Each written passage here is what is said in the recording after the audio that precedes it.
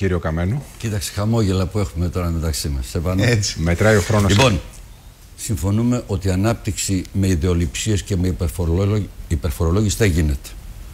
Νομίζω ότι συμφωνούμε. Σας λέω ότι γίνομαι λίγο πρακτικός. Στις παραλίες της Αντικής, κύριε Καμένο, κύριε Πρόεδρε, σχολάζουν χρυσοφόρες εκτάσεις ενώ ο Τούρκος επιχειρηματίας πουλάει κάθε βίλα του Αστέρα 50 εκατομμύρια ευρώ.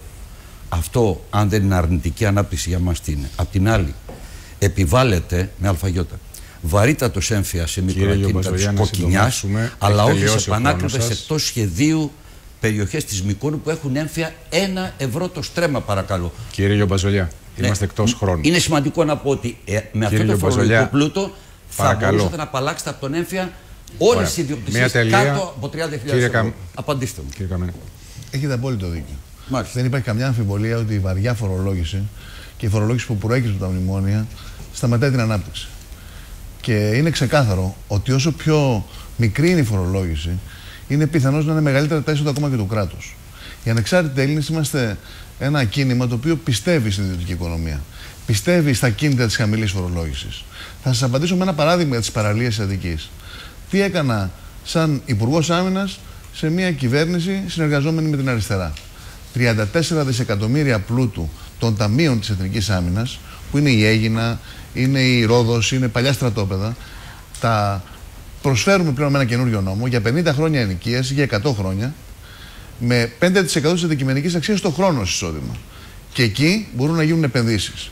Σε αυτές τις επενδύσεις πιστεύουμε ακράδαντα ότι πρέπει να υπάρχουν μηδενικοί φορολογικοί συντελεστές για να δοθούν τα κίνητρα να φέρουμε πίσω τα 160 δισεκατομμύρια που είναι στο εξωτερικό και μάλιστα νομοποιημένα και να βγάλουμε από τα σεντούκια τα 45 δισεκατομμύρια που βρίσκονται αυτή τη στιγμή έτοιμα να μπουν στην ελληνική οικονομία.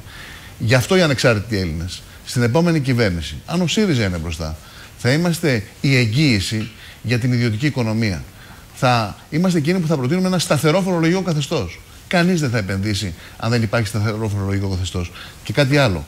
Στα νησιά, αντί να μπει ΦΠΑ, θα έπρεπε να γίνουν ελεύθερες φορολογικές ζώνες. Να κάνουμε την Καραϊβική Κύριε Πρόεδρε των Ανεξάρτητων Ελλήνων, κύριε Γιομπαζολιά, θα σας ζητήσω, επειδή ήδη υπερβήκατε κατά 17 δευτερόλεπτα, κρατάω και εγώ χρόνο εκτός από το χρονόμετρο, την προηγούμενη τοποθέτησή σας ερώτηση. Θέλετε να, να μην έχω follow-up, αυτό θέλετε; Όχι, όχι. Καμία αντίρρηση. Έχετε, έχετε το δικαίωμα για επαναληπτική ερώτηση, ε. συμπληρωματική, ωστόσο να παραμείνουμε στο χρονικό πλαίσιο το οποίο έχει οριστεί. Παρακαλώ, Σύμφωνα, 15 δευτερόλεπτα.